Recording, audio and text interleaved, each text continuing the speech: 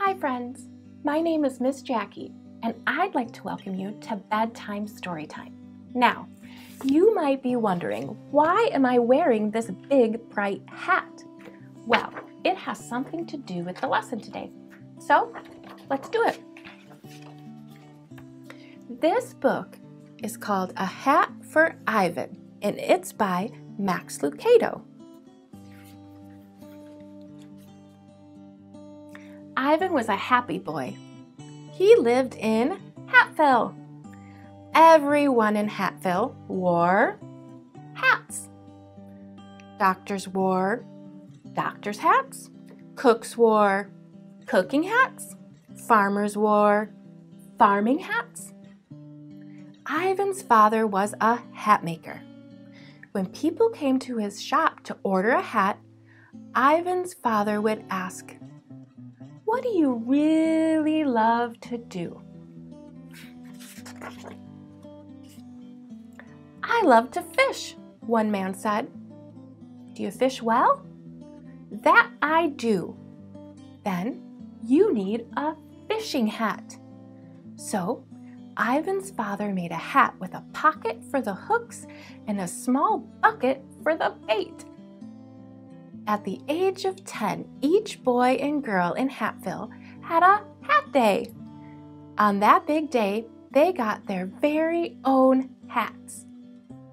Ivan's hat day was coming soon. All Ivan could think about was his new hat. He told everyone, My hat day is coming.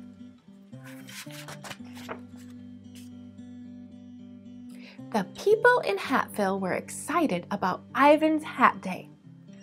But they had their own ideas about what kind of hat he should wear. Felix, the baker, said, Ivan, I have a hat for you. Ivan was surprised. He thought his hat would come from his father, the hat maker. But maybe he was wrong.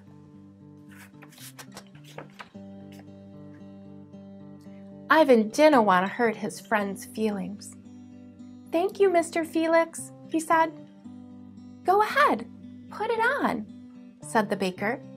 Ivan did, but it was too big.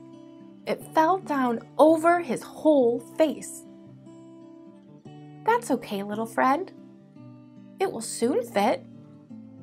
Ivan tripped on the step and fell down. Funny, he said to himself. I thought my hat would fit better than this. Soon, Ivan came to Miss Anita's piano studio. Ivan's father made her a special hat with bells. She loved the hat and she loved Ivan. But when he stopped to hear her play, she didn't know who he was. All she saw was a tall hat on a small boy. Who are you? she asked. Ivan said, It's me, Miss Anita, Ivan.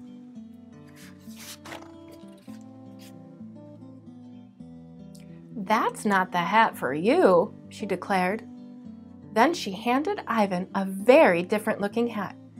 I made this hat just for you. Here, try it on. The hat was covered with musical makers a piccolo, bells, whistles, and a drumstick. Perfect, Miss Anita said as he put it on. Ivan smiled and left the studio. Now he had two hats. He wasn't comfortable wearing either one, but he didn't want to hurt anyone's feelings. Soon, he met a new problem.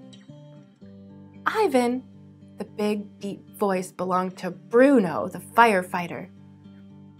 Take that silly hat off your head.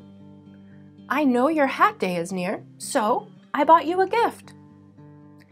For the third time that day, a hat was placed on Ivan's head. This hat was just like Bruno's, long and red and very shiny with a piece of fire hose wrapped around it and a tiny ladder on the top. Now, that's what I call a hat, Bruno boomed. Ivan stepped back and fell over. The hat was too tall and heavy and he couldn't keep his balance. Bruno helped him up. You'll get used to it, Bruno told him.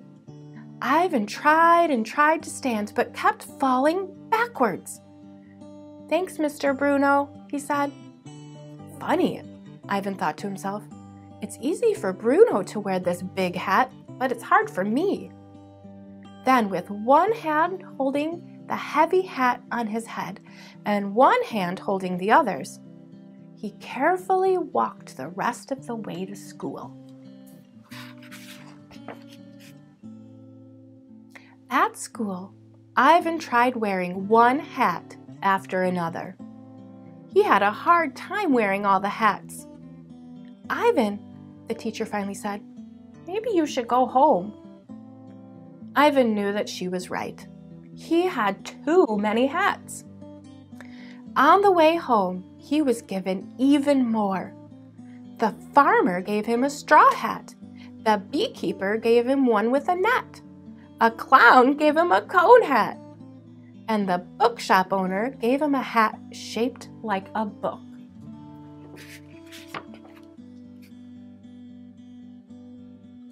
Ivan soon had so many hats that he could hardly carry them all. He kept dropping them. All of a sudden, he saw Felix the baker. Oh no, he thought, I'm wearing the farmer's hat. So he snatched it off and put on the baker's hat. Carrying the hats was hard enough, but now Ivan's eyes were covered and he couldn't see where he was going. Suddenly, he heard tiny bells. It was Miss Anita. Ivan pulled off the baker hat and threw on the musical hat just in time. Oh, you look wonderful, Miss Anita exclaimed as she paused. Ivan had started picking up the rest of the hats when he heard Bruno's deep voice. Ivan, is that you? Quickly, Ivan replaced the musical hat with the firefighter hat. It's me, he said, standing up and then falling back and back until he landed on his bottom. Looks terrific, Bruno called over his shoulder. Thanks, Ivan mumbled. He was so tired he just sat there, surrounded by his hats.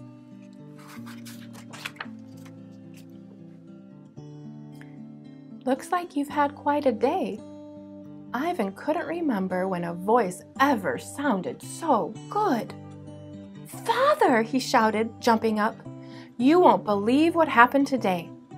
Everybody gave me a hat, and none of them fit, Ivan's father spoke up. That's right, said the boy. But you don't want to hurt anyone's feelings? Ivan shook his head. That's right, Ivan stopped. How did you know?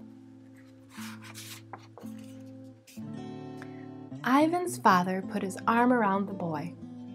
I'm the hat maker. I've seen what happens when people wear hats that weren't made for them. It was kind of everyone to give you hats. They don't know you. That's my job. I'm the hat maker, and I'm your father. Ivan smiled. Father, I want the hat that you will make for me. Well, Let's gather up these hats and go home then. As the hat maker and his child walked home, the father asked, Tell me, Ivan, what do you really love to do? The end. This is a pretty wonderful book, huh? It kind of reminds me that I probably should take this hat off. And I'm going to do something this week that I'd like you to join me in. This week, I'm going to make my very own hat of things that remind me that God loves me. Now, if you make one, I would love for you to bring it in next Sunday to Sunday school. I can show you my hat, and I would love if you showed me yours. Now, I'm so glad that you joined me today, and I can't wait to meet you next month and talk about a very noisy Christmas. All right, see you soon.